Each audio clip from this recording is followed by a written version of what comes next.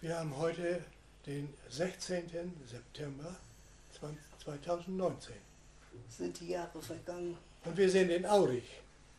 Wir sind bei Frau Gisela Händel. Frau Händel, Sie wohnen in Aurich, sind aber keine Ostfriesin. Nein. Wo sind Sie bin- denn geboren? Ich bin geboren in Naugard, Hinterpommern. Und Naugard war Kreisstadt. Ja. Naugard, Kreis Neu- Naugard, Hinterpommern. Und- Und jetzt Polen, Und heute ist das Polen. Und wie heißt der Ort heute? Nowogard. Nowogard. Ja. Sie sind dort geflüchtet. Ja, wir sind 1945 im März geflüchtet in Ja. der Nacht mit Großvater, meiner Mutter und meiner Schwester. Ja. Gleichzeitig die Tante mit zwei kleinen Kindern. Die hatte ein halbes Jahr vorher Bescheid gekriegt, dass der Mann in Russland gefallen war. Ach. Naja, und Opa ist mit uns, leider, er hatte noch ein Pferd. Ja. Die hatten ja Stellmacherei und Tischerei und er hatte außerdem Landwirtschaft. Und Sie sind über Stettin nach Swinemünde. Nein, wir sind in Richtung Swinemünde, aber Richtung. Stettin liegt zur anderen Seite hin, östlich. Ach, ja. Also über Stettin sind wir da nicht. Wir sind dann in Richtung Swinemünde. Und wir sind bis Swinemünde gekommen, also ungefähr 20 Kilometer, zum Teil zu Fuß und zum Teil auf dem Wagen, nicht mit dem Pferd. Und dann haben wir uns einem Treck angeschlossen. Nicht, das war ein riesenlanger Treck und das waren zum Teil Leute, die aus dem Osten kamen. Noch Und- weiter Richtung Ja, die schon viele, zwei Wochen oder drei Wochen unterwegs waren. Ne? Ja.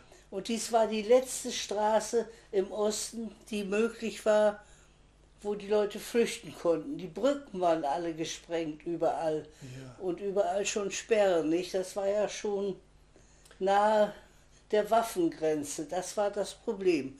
Und in Swinemünde, da haben wir dann Halt gemacht auf dem Markt. Und mein Großvater hat mich ins Rathaus geschickt, um einen Eimer Wasser zu holen fürs Pferd. Und er wollte Pferd füttern und tränken. Und ich war da ungefähr 15 Meter raus, da fiel da die erste Bombe rein Ins Rathaus? ins Rathaus. Und das Pferd ging hoch und raste los, Opa hinterher und eine Straße weiter waren sie beide tot. Ach, Naja, und dann war die Hölle los. Da waren 18 Wellen Amerikaner mit Bombern, mit Fliegern und die Russen von der anderen Seite mit Panzern. Und da sind über 20.000 Menschen in zwei Stunden umgekommen.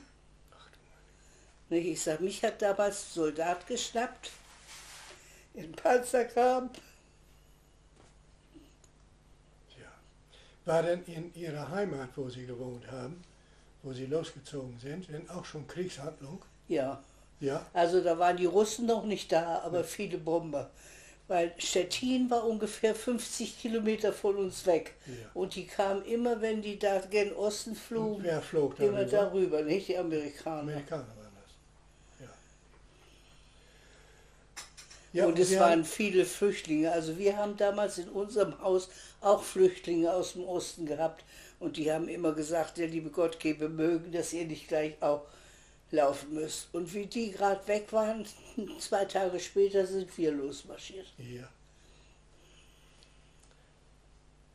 Sie hatten eine, haben Ihren Onkel, Ihren Opa aber nicht wiedergesehen. Ne? Nein.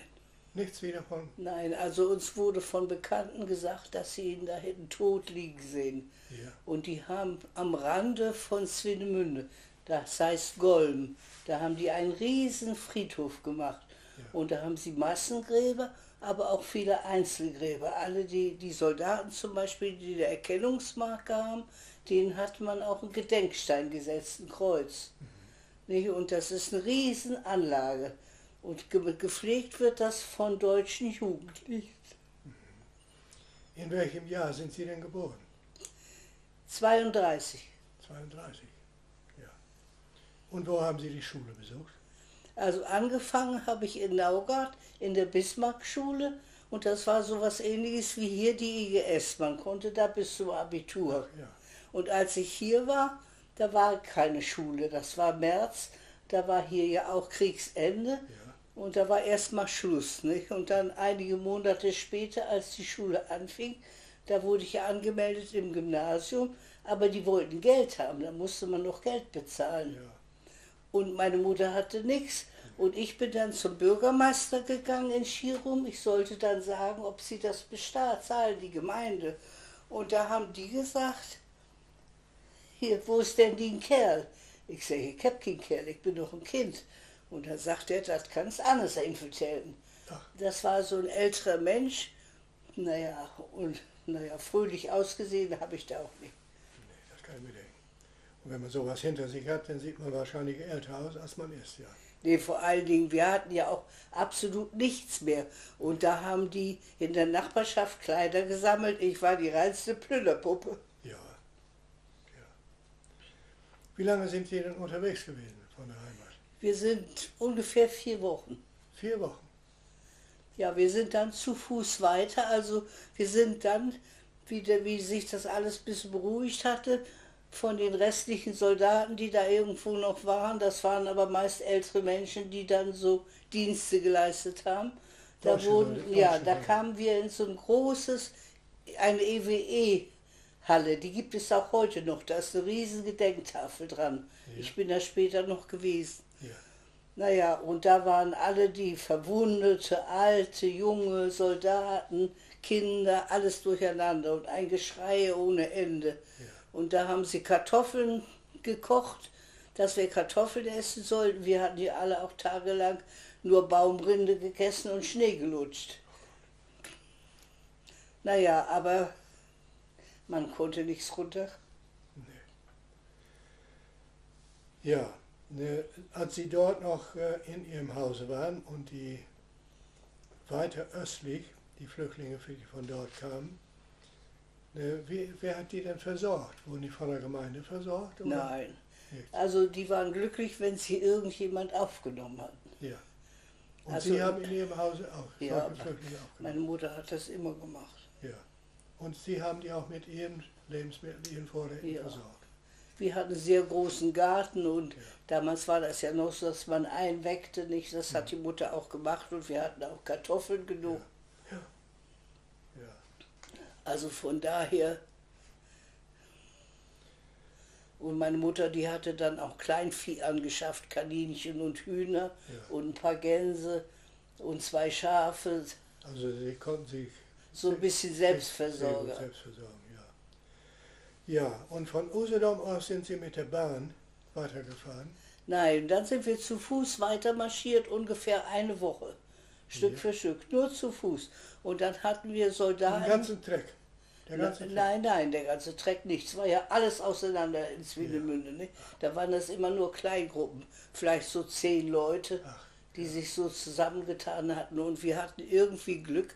Da waren ein paar Soldaten dabei, die auch auf dem Rückzug waren, ob sie das gar nicht durften, mit der Gulaschkanone, Ach. die sie hinter sich herzogen. Ne?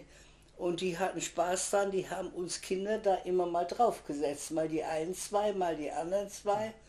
Naja, und was sie noch hatten, war Schnaps und Tee.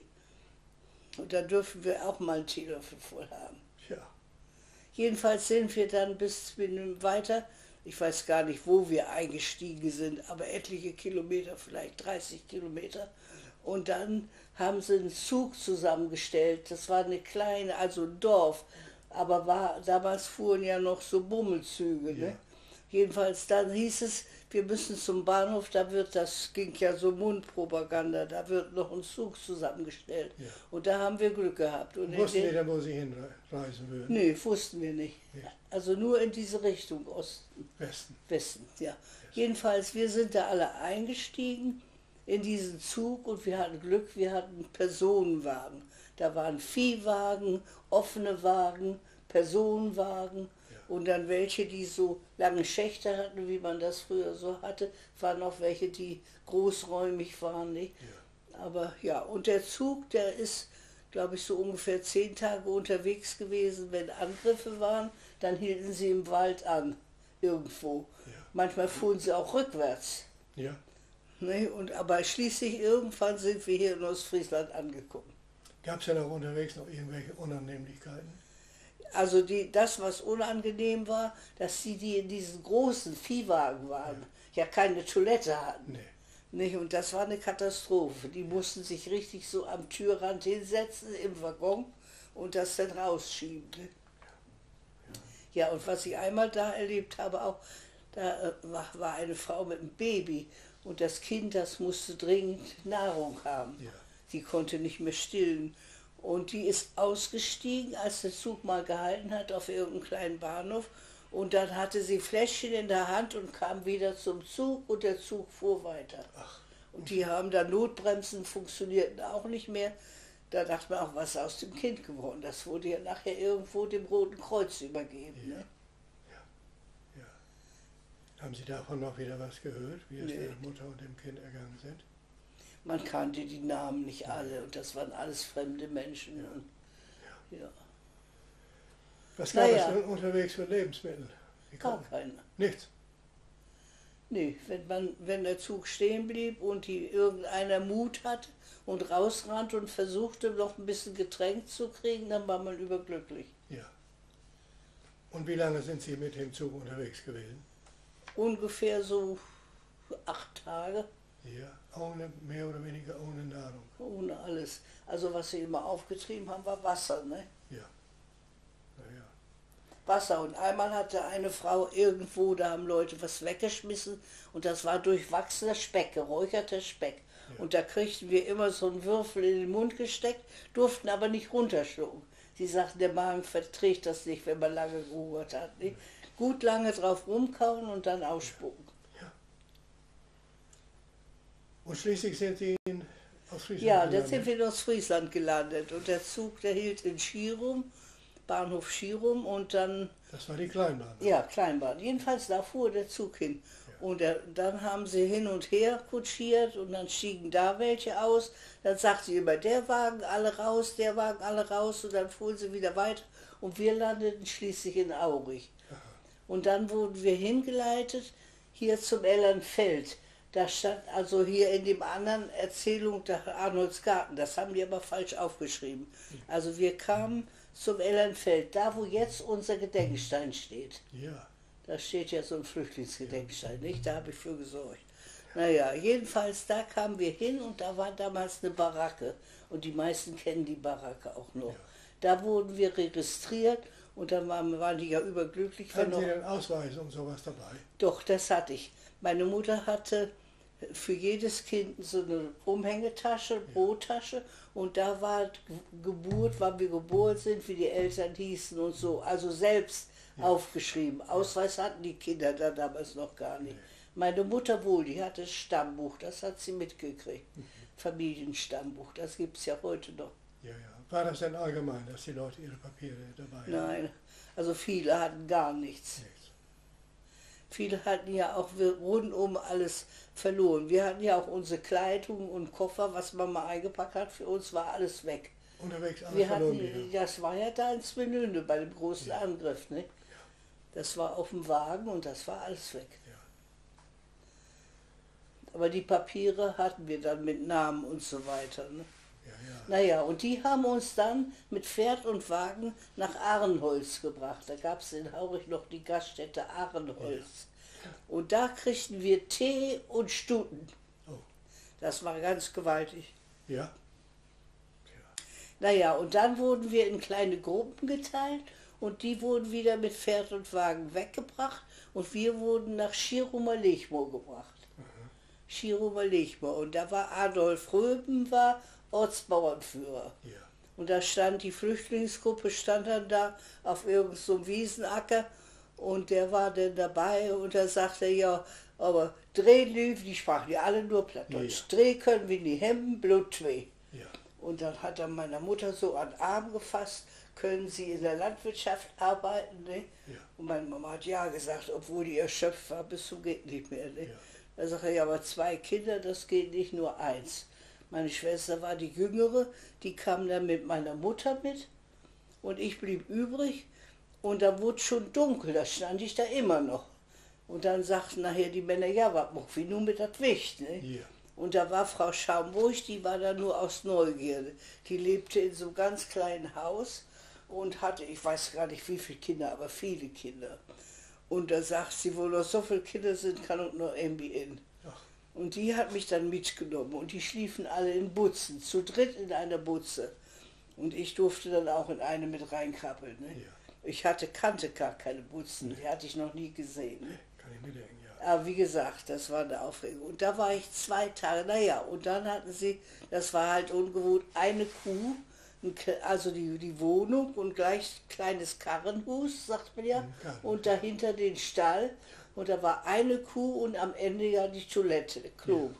Und äh, gewaschen wurde im Karrenhus, da war so ein Ständer mit einer Emailleschüssel, blauen Rand drumherum, kleines Läppchen und ein Stück Kernseife.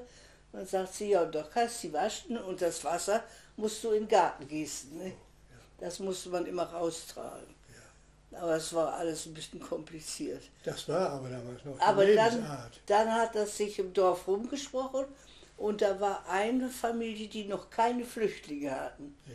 Das war Christian Löschen, der wohnte in der Richtung zu, zu Schirum hin, Denikas, in die Richtung. Oh. Also das Haus steht, das stand sehr einsam, ich bin da ewig nicht gewesen. Naja, jedenfalls da wurde ich hingebracht und die Frau, die Sie war... alleine? Ich allein. Ja. Ja, meine Mutter, die war ja beim Ortsbauernführer Ja. Röhm mit meiner Schwester. Ja. Ne? Und dann wurde ich da, weil die wollten nicht, dass die Frau, die so viele Kinder hatte, mich nun auch noch hatte. Das hatte sich wohl im Dorf rumgesprochen, weiß ich nicht. Jedenfalls, da wurde ich abgeholt. Und da kam ich hin. Und was dann komisch war, ich sagte, ich durfte zu Hause mit zehn Jahren im Lazarett helfen, Ja. Essen verteilen, Schieber leer machen, einfache Verbände anlegen und, und, und. Das durften wir alles machen. Zum Bahnhof hin, die vom Osten kamen im Zug, Verwundete versorgen mit was zu trinken und manchmal auch Brot verteilen und naja. Und jetzt durfte ich mir keine Schnitte selber machen. Ne? Die haben ja jedes bisschen zugeteilt. Jeden Morgen gab es Roggenmelk Flupp. Ja. Das war ja auch egal, aber das war so Sitte. Nicht? Ist und die, lecker. die hatten ja eine Kuh und die taten sich immer Sahne drum und ich kriegte immer so ein Kännchen Milch mit Wasser verdünnt. Ach, Ja, und dann durfte ich auch morgens aufstehen und melken lernen und auch die Kuh melken. Aber wie gesagt, aber normale Milch kriegte ich nicht. Nee, und wenn die Neujahrskuchen gebacken haben, dann musste ich nach draußen auf die Hühner aufpassen, dass sie nicht in den Gemüsegarten kamen mit der Peitsche. Und ja, das äh, eigentlich, ich meine, gut gehabt habe ich es da ehrlich nicht. also gut aufgenommen worden sind Sie. Nein, absolut Glücklich nicht. war keiner. Nee, und meine Mutter war auch nicht glücklich, weil sie ja nur ein Kind bei sich hatte und von mir nichts wusste. Und da, sie musste da dann arbeiten, dann konnte sie auch nicht kommen und gucken, was ich mache. Was musste sie dann da arbeiten? Ja, mit in der Landwirtschaft helfen. Ne? Ja. Hatte der eine größere Landwirtschaft? Also da, wo sie einquartiert wird, Ja. Adolf Röhm, wir Röhm. zu Hause nicht, Nee, dort, bei Röben. bei Röhm, ja. Und da musste sie in der Da muss sie helfen, alles mitmachen.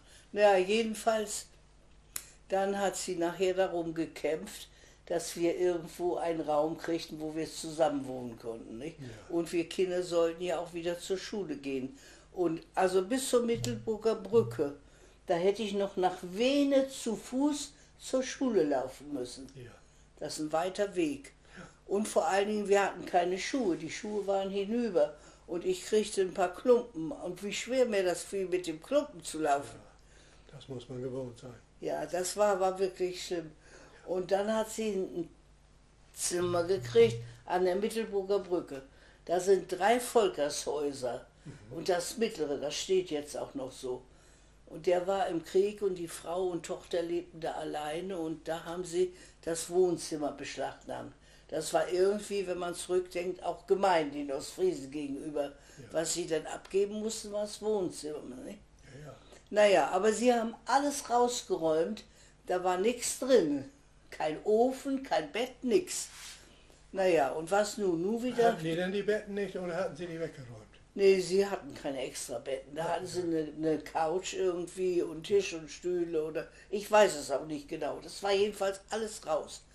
Und dann ist meine Mutter nach Aurich hin und da war ja schon die Besatzungsmächte. Ja. Und die haben uns dann von der Kaserne, ehemaligen Kaserne, zwei Betten besorgt. Da kriegten wir zwei Betten, zwei Stühle und einen Tisch. Und dann, ja, in dem einen Bett schlief meine Mutter, in dem anderen meine Schwester und ich. Dann über Eck und dazwischen stand der Tisch. Und das, was wir hatten, ist auch dann zu dritt zwei Tassen. Ja, das war so unser Anfang, aber kein Ofen. Und dann musste die Rixte, hieß die Rixte Volkers, die musste Genehmigung geben, dass wir bei ihr kochen können. Ne? In ihrer Und die, Küche. die, ja, in ihrer Küche. Wir hatten ja keinen Ofen. Irgendwie was zu trinken mussten wir auch haben. Aber dann, wenn dann ein Topf mit dem bisschen, was man hatte, stand, dann hat die liebe Rixte das draußen ausgekippt, wenn sie schlechte Laune hatte. Ja, Das hat sie öfter gemacht. Ne? Aber die war nervenkrank. Ne? Dann waren wir glücklich, dass wir ein paar Kartoffeln hatten und so. Ja, das war ja kein schö- schönes. das war So. kein schöner Anfang. Aber sie hat gelernt. Nachher haben wir auch zusammen noch ihre Silberhochzeit gefeiert. Ja. Ja. Dann später wurde ihr Mann entlassen, der war im Krieg und vielleicht ein halbes Jahr später ungefähr. Und dann wurden ihre Nerven besser. Der war ganz lieb, der hatte Krieg gesehen und Ja, naja, der hatte dann auch, ja. Aber das war ja auch sicherlich sehr entbehrungsreich für die Frau, die hat dann, ja, das war für, für alle schwer, eine Ja, andere die Welt. ja. Und dann mussten sie sich beim Bürgermeister in Schirmlichmo melden, ne? Ja, ja, da müssten wir uns melden. Und dann ging, fing ja die Schule an und dann waren wir froh, dass wir da waren und dann meine Schwester und ich nach Aurich zur Schule gegangen. Und dann habe ich mich beim Gymnasium angemeldet und da war ich 14 Tage. Die wollten Geld haben, jeden Monat, weiß ich nicht, 15 Mark oder 10 Mark, keine, ich weiß es nicht mehr.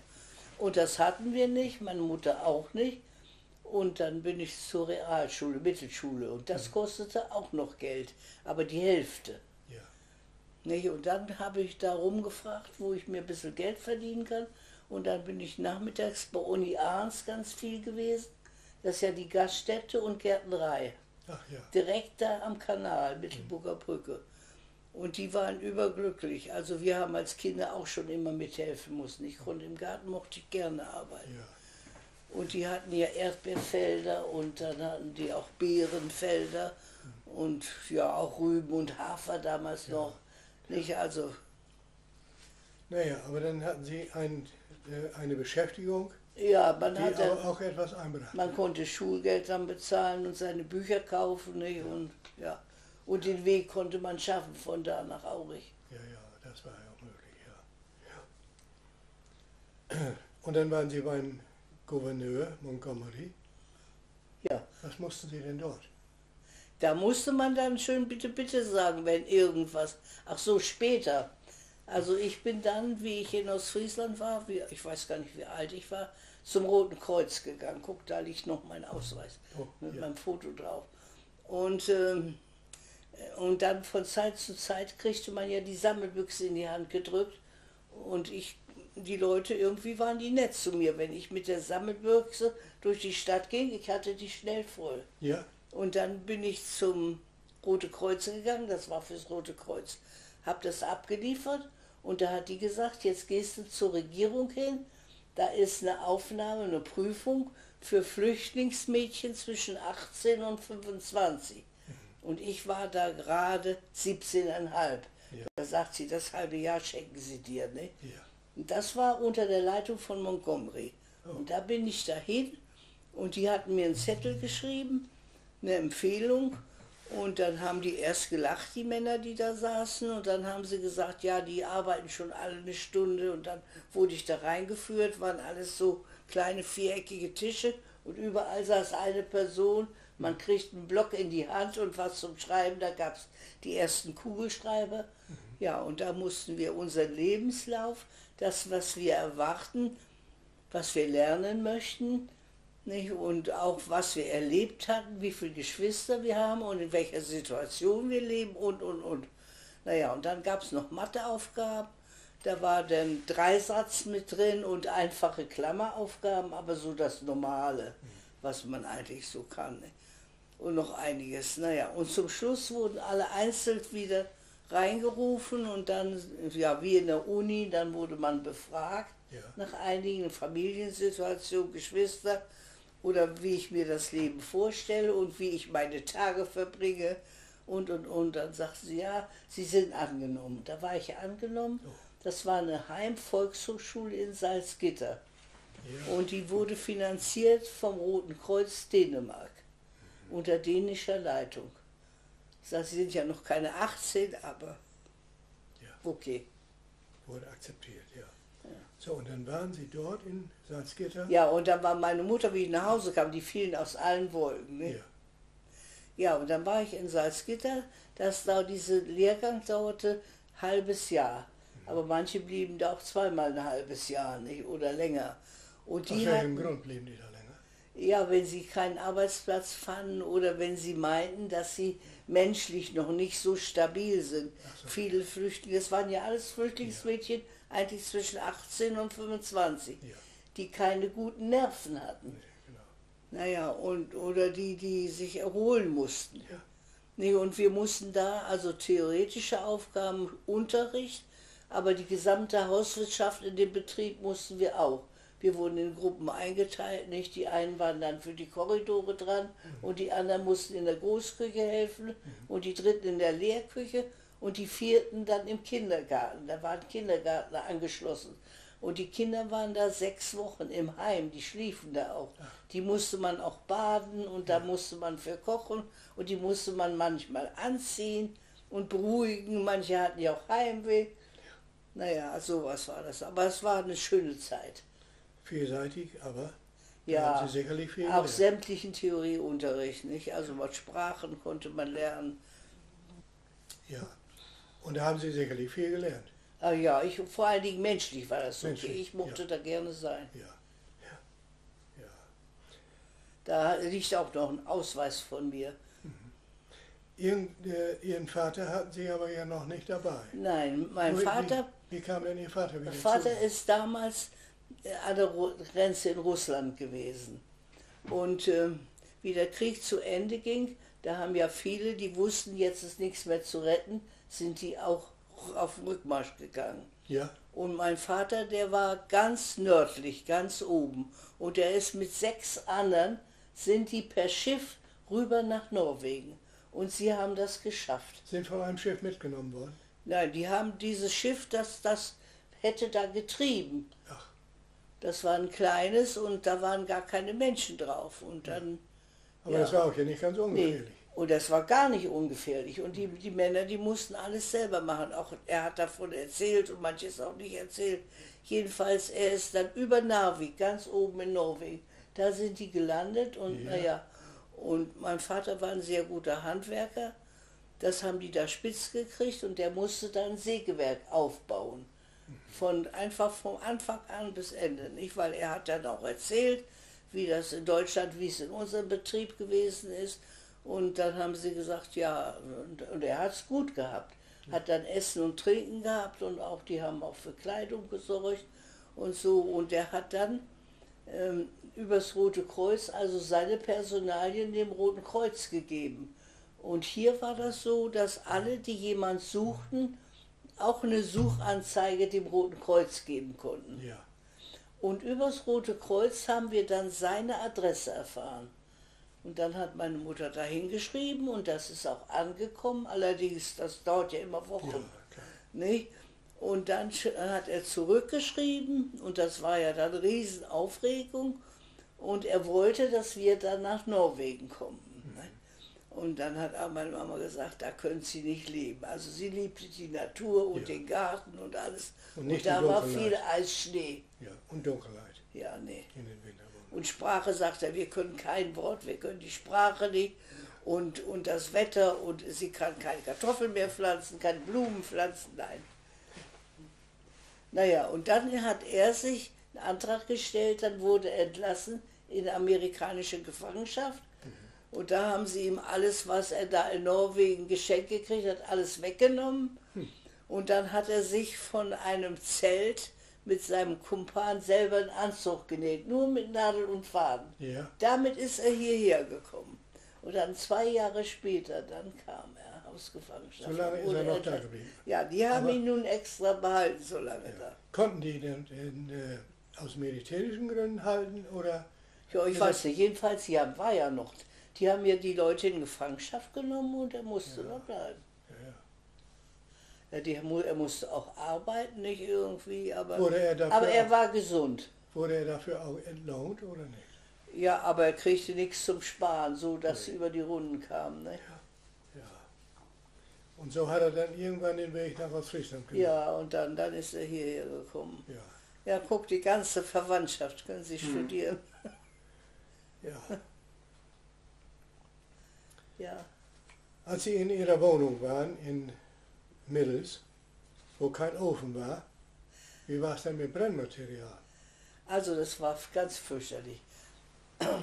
Mutter wurde nachher krank und die kriegte dann eine Lungenentzündung. Das war nicht nur Grippe. Und dann kam jetzt Dr. Nettesen. Ja. Der kam ja auch immer zu den Volkers hin. Ne? Und er Ja. konnte ja sehr, sehr lieb tun. Mit der Frau Volkers sagte dann, Moin, mein Tüti, wo ist denn mit die? Und dann Tüti stand dann aus dem Bett auf im Nachthemd und guckte, ob die Hühner Eier gelegt haben und gab ihm die mit. Ach. Und er kriegte auch einen Liter Milch und dann war er natürlich glücklich. Ne? Ja. Aber naja, Mutter kriegte ihre Arznei und dann sagte, so geht das nicht, sie braucht einen Ofen. Wir sollten hingehen wieder zur Regierung und zu Montgomery, da zu den Leuten, die da saßen und darum bitten, dass sie uns helfen, dass wir einen Ofen kriegen. Dann hatten Sie vorübergehend in einer, in einer kalten Wohnung gelebt. Ja, und dann, sicher, wir Kinder sind da drüber weggekommen, aber meine Mama war dann sehr krank. Naja, jedenfalls, wir sind dahin und die sind dann mit uns durchs Dorf gegangen und haben irgendwo einen Herd beschlagnahmt. Die hatten drei Öfen, die hatten einen guten in der Küche, den sie fast gar nicht nutzten, der musste immer schön blank sein, und einen in der Vorküche, da Ja. wurde natürlich auch Futter drauf gekocht, Ja. große Kessel, den haben wir gekriegt. Ja. Sie sollten nun den guten nehmen. Nicht? Und dann haben wir gescheuert, dass er einigermaßen wieder ordentlich war. Ja, nun brauchten wir Brennmaterial. Dann wurde spazieren gegangen und wenn man nach Wallinghausen ging, wo die paar Bäumchen da stehen, jedes Stöckchen wurde aufgehoben und nicht nur wir, alle machten das, die kein Ja. Brennmaterial hatten. Nicht? Und als mein Vater dann da war, der hat dann schnell Leute kennengelernt, weil er mal da und mal da irgendwas gemacht hat für die handwerklich. Und da war Martin Flessner und der hatte ein Schiff. Ja. Und der hat immer Torf gefahren aus dem Moor geholt. Nicht? Und der hat ihm dann erzählt, dass man zu der und der Zeit im Frühjahr Torfmoor verpachtet. Ja. Hier runter nach Wiesens und dann Kolrunge, da ein ganzes Stück runter. Ne? Naja, und da hatte mein Papa, der hatte dann den Tag und dann wollte er nur hin ein Stück Torfmoor pachten. Und da hatte er Pech gehabt, sich einen Finger verletzt, der so entzündet war, dass das eine Blutvergiftung gab und der Finger schon anfing zu vereitern. Ja, ja, wer kriegte dann den Zettel in die Hand? Ich. Dann hin zum, zum Moor, um da nur was zu pachten. Ne? Ja, sagt, kannst dich gar nicht verlaufen, immer am Kanal lang. Und in Wiesens, da musst du dann fragen. Naja, und unterwegs traf ich dann einen Mann, der war aus Schlesien und der war schlecht zu Fuß. Und unser Unglück war, wir sind auf der linken Seite immer runtergelaufen und das letzte Stück dann über die Brücke, warum, das weiß ich rechts gelaufen. Ja. Und da gab es keine Brücke mehr. Und da waren wir schon ganz verzweifelt. Und dann fing es auch noch an zu regnen. Und dann haben wir da eine Frau gefragt, wo das dann wäre. Wir hatten einen Zettel in der Hand, wo wir hin mussten. Da stand die Adresse drauf, aber ich wusste ja trotzdem nicht, wo das war. Und da mussten wir über den Kanal. Und die hatten dann Kisten so groß wie hier der Tisch ungefähr und Tau dran. Da musste man sich so rüberziehen. Ne? Ja, die Pünte. Pütte. Und in dem Ding stand schon Wasser und wir kannten das ja gar nicht. Ich kann gut schwimmen, ich sage, ist ganz egal, falle ich rein, dann schwimme ich wieder raus. Ne? Oh ja. Und der andere, der sagt, ich kann nicht schwimmen, der hatte solche Angst. Naja, ich bin zuerst drüber und hab's auch geschafft. Und dann habe ich so lange geredet, ich sage, steigen Sie rein, ich sage, dann rette ich Sie. Oh, das war ein älterer, Und er ist dann auch rüber. eine ältere Person. Ja, eine ältere Person. Das war so ein kleines zierliches Männchen. Ich habe die noch so vor Augen. Naja, und wir haben es geschafft. Und wir haben dann nachher gefragt wieder und haben dann auch die Leute gefunden, die da Torfmoor pachteten. Ne? Ja. Aber jeder hatte so einen Zettel in der Hand und die vier Holzstöcke. Ja. Ja, und dann ging das immer, das ist mein, das habe ich vergangen ja auch gehabt, das ist mein. Ne? Oh, ja. Und dann, und dann liefen wir wieder ein Stück weiter. Nicht? Und so bin ich dann bis nach Kolrunge gekommen. Ach, so weit? Und da so weit, nicht? weil das immer, das ist Mien, das ist Mien. Nicht? Ja. Und da habe ich dann ein Stück gekriegt und dann Zettel nach Hause. Aber später hat mein Vater durch seine Arbeitskollegen hier in Aurich, hat er dann dicht dabei ein Stück gekriegt. Und da sind wir dann im Frühjahr auch hingelaufen und haben da mit Handarbeit Torf gestochen. Haben Sie selbst Torf mitgestochen? Ja. Und dann von, mit, von Martin Sch ich habe auch irgendwo, hätte ich raussuchen können, von irgendwo haben wir dann erfahren, dass er, der Martin Flesser, sein Schiff hatte am Kanal Mittelburger Brücke.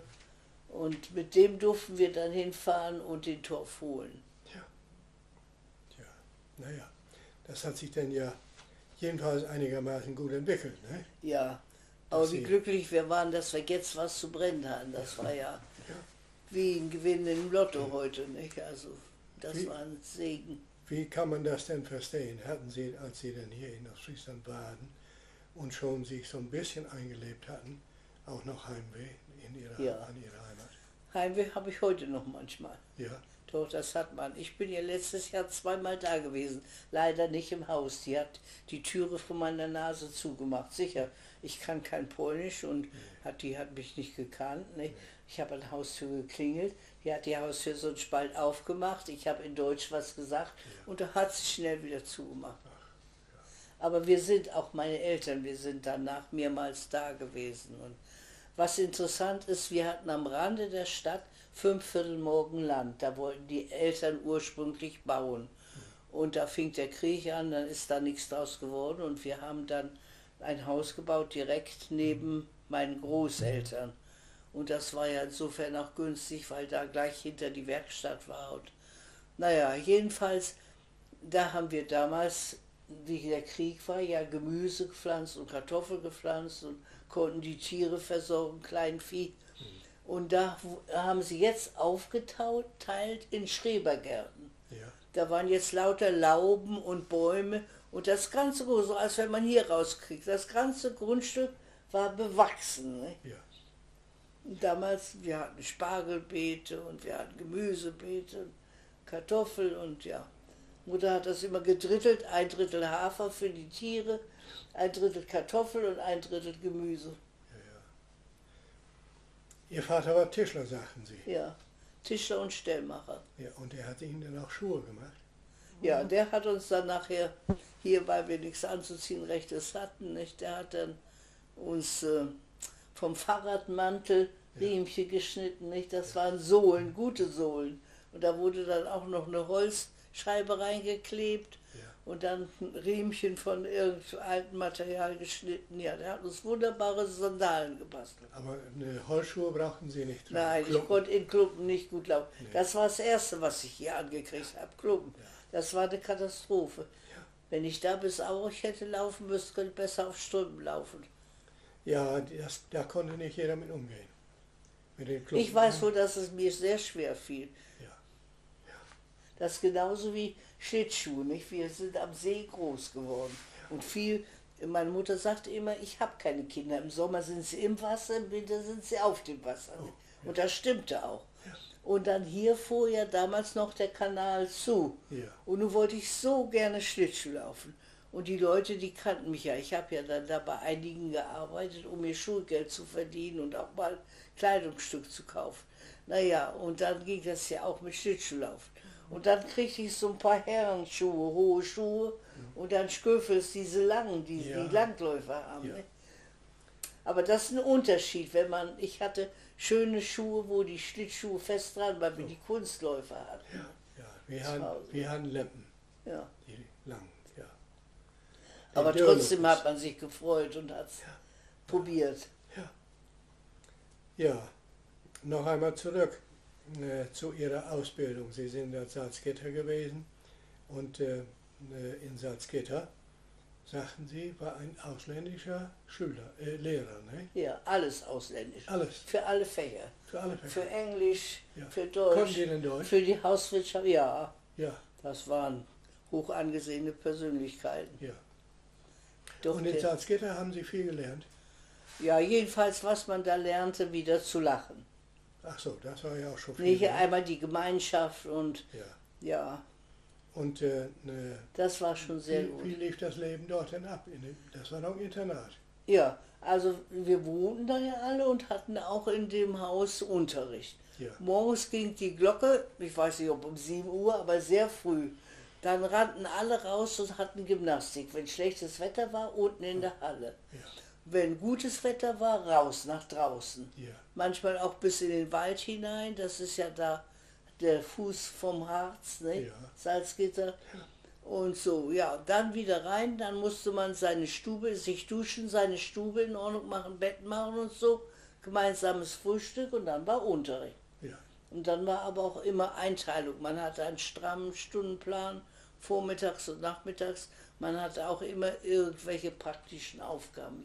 Jeder irgendwann. Aber das Ganze hat Ihnen gefallen. Ja, hat mir sehr gefallen. Ja. ja. Und was macht Sie da in der Freizeit? Da haben wir Chor gehabt, da haben wir Sterngucken gehabt, da haben wir Basteln gehabt, da haben wir Partykurse gehabt. Ja. Also man wurde rund um die Uhr beschäftigt. Ja. Theater spielen, Laienspiel. Ja. Da liegt noch mein Zeugnis, da steht alles drin. Ja. Und da sind Sie auch so ein bisschen an die Kunst herangeführt worden. Ja, also jedenfalls, äh, ich hatte Keudel hieß der, der hat Kunsterziehung gemacht. Und er sagte, die muss irgendwie ein Handwerk lernen, was mit Kunst zu tun hat. Ne? Und, und Weil, macht das so. weil Sie begabt waren oder, Ja, meint er, ich hätte oder da. sollt, oder sollte das jeder? Nein, Nee. weil ich dafür begabt war, Ah, ja. meinte er. Ja, ja. Und andere wieder, ich war dann nachher Schülerratsvorsitzende, Ja. obwohl ich da die Jüngste war. Die sagt, du kannst gut organisieren, kannst mit den Leuten reden. Und dann haben sie gesagt, nein, du musst was Pädagogisches. Ne? Ja. Und da kriegte ich ja ein Stipendium in der Universität Braunschweig. Mhm. Und das, das kriegte ich als erstes, Und wie alt waren Sie damals? 18. 18. Und da bin ich dahin und ich war die Jüngste, die da mit in der Gruppe mit mir waren. Das waren die Männer zum Teil, die im Krieg gewesen waren, die waren alle über 30. Ja. Der Älteste war sogar 41. Ja. Und ähm, Mädchen, Frauen waren dann nur drei Stück in der ganzen Gruppe. 18 waren wir zusammen. Ja. Nee, und ich bin da gerne gewesen. Was da Theorie anbelangte, kam ich auch super mit. Das war kein Problem. Nee, aber dann kriegte ich einen Brief, dass die, die Handweberei Banzer, die ist bei Osnabrück, Bissenfeld, das war das Dorf daneben, oder ist noch, Stockholm, und äh, eine Zusage, dass ich da anfangen kann. Ne? Ja. Denn vorher der Keudel, der sagt immer, nein, du, du musst was, sowas lernen. Ne? Naja, und denke ich, was machst du denn nun? Ne? Und dann bin ich dahin zu dem Professor und habe ihm das erzählt. Und da sagt er, ich würde dir raten, dahin zu gehen, Handweben lernen. Und dann hinterher kommst du wieder. Wir haben dich in der Liste und wir nehmen dich wieder. Ich sorge dafür. Ja. Naja, und da bin ich dann guten Mutes nach Osnabrück gefahren mit sechs Pfennig in der Tasche. Ich da noch dran denke, nicht da. Geld hatte man so gut wie nichts. Naja. Und dann habe ich da angefangen und da hatten die auch gesehen, dass ich da Vorsitzende war im Schülerrat und da sagte die gleich zu Anfang, hier musst du aber gehorchen, ne? Oh. Ja, das waren zwei Damen, die den Betrieb leiteten. Das war meist drin. Und das war noch so richtig so alte Erziehung. Da musste man mit 21 Jahren noch Händchen geben, Gute Nacht sagen und Knicks machen. Oh, ja. Ja. Naja, das war ja auch nicht verkehrt. Nee, die sind einmal mit uns zum Dorffest gegangen. Da hat das ganze Dorf gelacht. Ne? Da waren zehn Mädchen in dem Betrieb und die durften dann alle mit zu diesem Dorffest. Und davon vier Lehrlinge. Nicht? Ich war auch eins von den Lehrlingen. Und dann, wie es dann 10 Uhr abends war, dann haben sie gesagt, so, jetzt müssen wir nach Hause. Nicht? Da mussten wir alle stramm stehen, so ungefähr, und dann marschierten die im Gänsemarsch mit uns wieder zurück in die Wohnung. Nicht? Dann Da geht haben die Glocke mit den Küken wieder nach. Ja, ja, und da haben sich alle drüber kaputt gelacht. Naja. Die Mädchen von Banzers sind hier, ja. Nun sind sie alle wieder weg. Oh. so ungefähr. Da hat was gefehlt. Aber da war noch eine strenge Erziehung. Ja. Naja, das war aber damals allgemein so. Ja. Ja, die äh, Erziehung war etwas straffer und sicherlich auch, Auch nicht verkehrt. auch kein Nachteil. Nee. Ja, und dann haben Sie von da aus wieder den Weg nach Salzgitter genommen? Ja, nein, oder? dann war ich verliebt.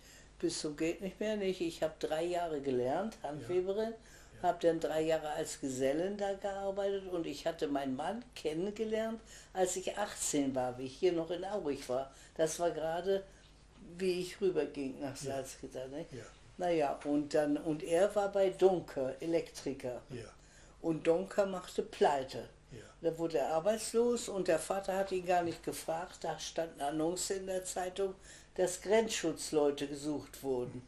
Und da hat er einfach angerufen und hat seinen Sohn angemeldet. Ne? Ja, Und da musste er, da kriegte er Bescheid, dass er kommen konnte zur und wo Aufnahmeprüfung. ging das hin? Dass wir nach Holzminden war der Anfang. Oh ja. Und jedenfalls, er ging nach Holzminden hin und da in Holzminden ist er dann geblieben in der Ausbildung und dann nachher durch Deutschland. Ne? Lange Zeit war er an der Eifel, in Aumont und das war keine gute Zeit. Naja, wir haben uns immer Briefe geschrieben, jede Woche ein Liebesbrief. Ja. Bis Haben ich Sie- haben Sie 25 sicherlich war. alle. Nee, habe ich nicht. Ich habe die alle gesammelt und dann in der Osnabrücker Zeit, da habe ich Persilkarton, der war voll. Und abends, wenn ich ins Bett ging, da habe ich meinen Karton, dann wurden drei Briefe rausgenommen, die wurden gelesen und dann gute Nacht. Und wie ich nachher hier war, wie ich geheiratet habe, habe ich hier bei meinen Eltern gewohnt, oben.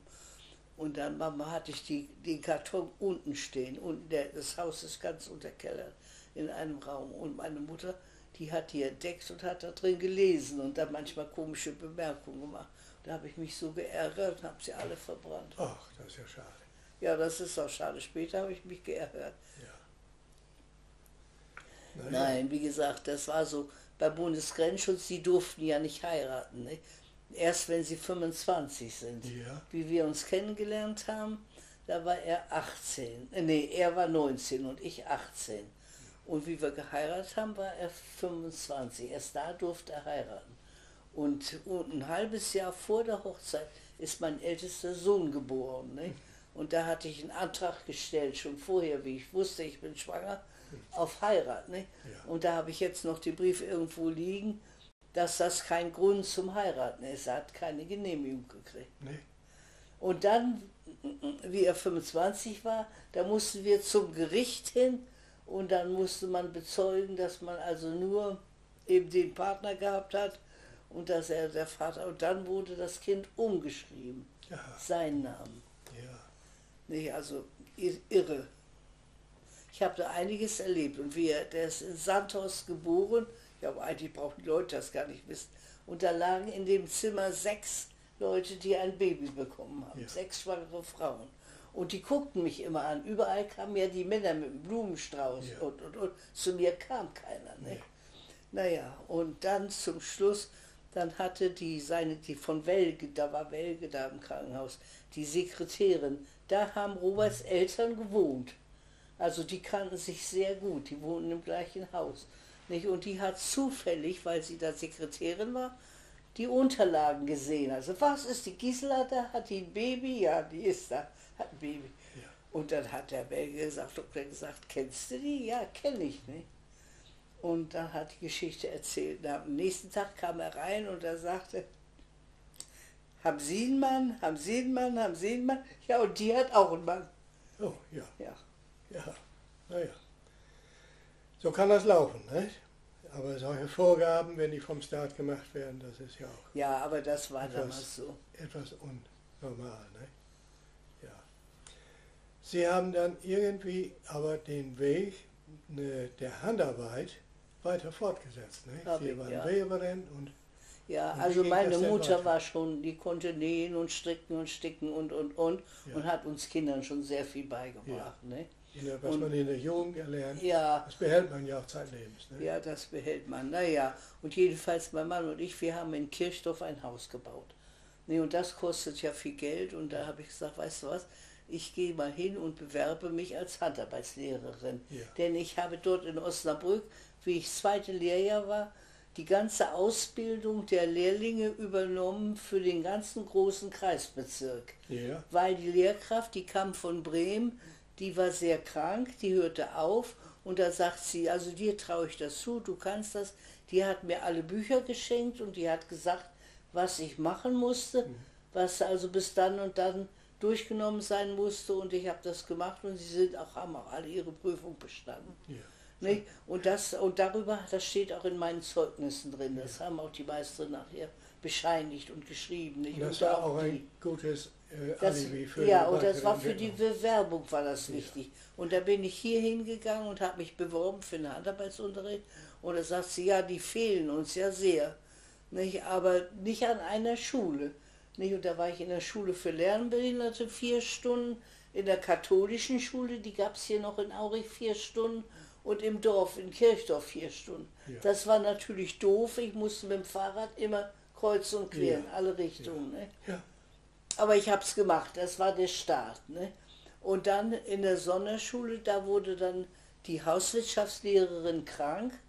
Und das war dann auch so ein Drama. Dann sagte sie, ja, die Kinder, die sollten doch da über Ernährung und auch Kochen lernen ein bisschen. Die hatten ja alle einfache Verhältnisse zu Hause oder Großteil. Willst du das nicht machen? Ich, und ich sagte, ja, ich kann das wohl, ich traue mir das zu. Und da habe ich das gemacht. Ich musste aber ein Papier haben, um das nachzuweisen, dass ich es kann. Und dann bin ich wieder nach Emmen gefahren zur Schule. Das war immer nur einmal in der Woche und habe dann meinen Hauswirtschaftsmeister gemacht. ja. Ja, In welcher Zeit denn konnten Sie die Ausbildung dort machen? ja also äh, die Vor der Vorbereitungskurs war, glaube ich, drei Jahre. So lange und, doch. Und ich bin da ungefähr ein Jahr hingegangen. Insgesamt. Der, der, der lief schon, der Kurs. Ich habe mich dann schlau gemacht, welche Möglichkeiten es gibt, wo man irgendwas machen kann, eine Prüfung ablegen kann, ja. Und die haben mich dann auch aufgenommen und ich habe es auch geschafft. Da Und das meine, Zertifikat bekommen. ja, Und mein Meisterbrief. Ja, Naja, jedenfalls, der war nachher später auch wichtig, nicht? ja. Denn ich war immer nebenberufliche Lehrkraft und die verdienen nicht viel. Das ist, da kann man genauso gut irgendwo als Verkäuferin arbeiten. Ja, Das war ganz bescheiden, aber es war immerhin was. ja. Und dann habe ich gesagt, wisst ihr was, ich lerne noch weiter. Die haben mir alles zugetraut. Ich durfte Hauptschulabschluss abnehmen, ich durfte Klassenlehrerin sein, ich durfte Zeugnisse schreiben und der Golder, das war ja der Schulrat, der hat mich zu Konferenzen geschickt, da brauchte er nicht, aber das Geld kriegte ich nie. Und dann habe ich gesagt, wisst ihr was, ich setze mich nochmal auf die Schulbank. Da haben die gesagt, du bist verrückt. Und wie alt waren Sie damals? als Sie noch- 41. Da mal. Das war aber die Grenze. Ne? Ja. Und dann habe ich mich berufen, habe ich gehört, dass sie hier Lehrer für Fachpraxis suchen an der Berufsschule und da habe ich gesagt, ich werde mich bewerben. Ja. Und da muss man sich in Osnabrück bewerben, das, da, die gehören zu Osnabrück. Und jedenfalls da haben sie gesagt, das wäre meine letzte Chance, dann wäre ich zu alt. Ne? Ja. Also sie haben mich genommen. Und da war ich im Seminar, war ich die Älteste. Und ab dann, da bin ich von der Sonderschule weg, also von all denen, und bin in die Berufsschule gegangen. Und dann hatte ich Vollzeitunterricht. Ne? Naja, und da habe ich dann zwei Jahre, hat das gedauert. Und die Theorie, die war mal in Wittmund, mal in Jever, mal in Aurich. Und dann kamen die, die die Ausbildung machten von, von Osnabrück, die Professoren. Ja, Ne? Und dann hatten wir jedes Mal so eine Akte, die musste man dann durcharbeiten, vier Wochen, und dann war wieder Treffen für zwei oder drei Tage. Das war verschieden. Ja, und dann war zum Schluss natürlich die Prüfung, Examensarbeit, das Übliche. Ja. Dann die Theorieprüfung und die Praxisprüfung, etliche Lehrstunden, die man geben musste. Ne? Habe ich geschafft. Und haben alle anderen das auch geschafft? Nee, zwei nicht. Nee. Einer von den Männern, der war eigentlich gut, aber der hat seinen Mund nicht aufgemacht, der war zu schüchtern. Aber der hat es dann beim zweiten Mal geschafft, durfte es wiederholen. Naja. Ja, das war ja ein sehr vielfach äh, Ja, interessantes aber ich habe dann auch aber vielseitig. der Einsatz, nicht? Wie ich da hinkam, als erstes haben sie mir das BVJ gegeben, das heißt Berufsvorbereitungsjahr. Ja. Das waren genau die Schüler, die ich vorher in der Schule für Lernbehinderte hatte. Ja. Die hatte ich dann wieder, nicht? Die kommen ja dann zur Berufsschule ins Vorbereitungsjahr. Ja. Und da haben sie gedacht, oh, die kennt die alle, die, die kann das machen. Ja. Und dann hatte ich die zweijährige Berufsfachklasse, das sind die, die nachher Krankenschwester werden und so ins Krankenhaus gehen, ins Sozialdienst gehen, also viele, die dann Hauswirtschaft, ja. Und dann zum Schluss war ich im Gymnasium. Ja? Also Was dann haben die dorthin gemacht? Unterricht Biologie und auch Nahrungszubereitung und Ernährungslehre. Ja, das war ja ein ganz umfangreiches Feld. Ja. Und da war, war, ist mir passiert, ich war selber krank, wurde hier in Aurich operiert, in dem Vorraum. Und ein junger Mann im weißen Kittel sagte, kennen Sie mich noch, Frau Händel? Ich sagte, nein, weiß ich im Moment nicht. Und ich war ja auch aufgeregt. Ne? Ja. Naja, und da sagte er, ich war doch Ihr Schüler dann und dann. Ach. Ja, und jetzt musste er mir eine Spritze geben, dass ich da ruhig wurde, schon halb einschlief. Ne? Ich sage, jetzt kriege ich gleich die versetzt, ja. Naja, aber Sie haben sie überstanden. Aber genau, guck. Und jetzt am Wochenende, da war meine Freundin hier und da sind wir hier mit dem kleinen Schiff, mit der Auri, nach Emden gewesen. Ne? Und da saß am Tisch auch eine, sagt, sind Sie nicht Frau Händel? Ich sage, ja. Haben Sie Handarbeitsunterricht gegeben? Ja. Dann war ich Ihre Schülerin dann. Und dann Ja. Die hatte ich auch nicht gekannt. Also es begegnen mir immer noch welche. Ja, ja. Und das haben Sie, bis zur Rente haben Sie dann Ihre Ja, Arbeit 65 gemacht. habe ich es durchgehalten. Und dann habe ich einmal die Woche war ich abgeordnet nach Wismar und habe mit den geistig Behinderten gearbeitet. Ja, Nicht? Und zu denen habe ich jetzt noch Kontakt. ja. Und mit denen habe ich gearbeitet, bis ich 82 war. So lange. Einmal die Woche. Und dann habe ich Schlaganfall gehabt, ja, und dann war es aus. Ja, aus. Aber Ihren Mann haben Sie relativ früh verloren, ne? Was hat Ihr Mein Mann ist ähm, gestorben schon mit 56 Jahren. Ja, Ja. Der hatte Ritzenbluten, der ist verblutet. ach. Tja. Ja, Frau Händel, Sie haben ein bewegtes Leben, aber Sie haben sich aus der neuen, aus der alten Heimat in die neue begeben und haben hier auch eine gute Heimat gefunden, ne? Ja, auf jeden Fall. Ja, Vor allen Dingen gute Freunde auch nicht. Also Doch. Anfang war es sehr schwer. ja, Dann waren wir auch die Bösen aus Friesen, da erlebt man auch komische Sachen. ja. Nicht? Naja, wer ist schon glücklich darüber, dass er sein Haus mit jemand teilen muss und wenn Fremde kommen. Ja, das kann man alles verstehen, nicht? Aber wir aus Friesen haben ja auch etwas äh, andere Sitten und Gebräuche. auch das. Und unser Plattdeutsch äh, ist ja auch nicht für jedermann sofort annehmbar.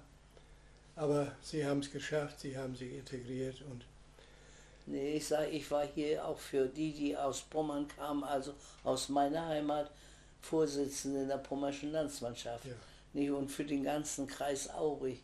Und dann auch Abgeordnete in Hannover. ja. Da bin ich auch jedes Jahr hingefahren bis zu meinem Schlaganfall. Sind denn viele aus Pommern hier in Aurich auch geblieben? Ja, ich habe jetzt noch eine Liste da. Das sind 68 Personen, die hier im näheren Umkreis von Aurich wohnen. Der Zettel liegt noch auf meinem Küchentisch. Ich habe da heute Morgen noch drauf geguckt. Ja. ja, wir haben nun sehr viel gehört. Ich denke, wir wollen das Gespräch dann auch beenden. Äh, Sie haben ein bewegtes Leben, aber auch sehr schwungvoll, würde ich sagen. Und äh, ich denke mal auch ein Musterbeispiel, wie auch andere äh, aus ihrem Leben etwas machen können, wie sie es nur wollen und sich zutrauen. Ja, Ja, ja für unser Filmmuseum ist das sicherlich eine Bereicherung, die wir dann auch dort äh, vortragen können. Und in diesem Sinne bedanke ich mich dafür, dass Sie uns das alles geschildert haben und wünsche Ihnen auch weiterhin eine gute Gesundheit. ja, und ich danke Ihnen auch für die Geduld.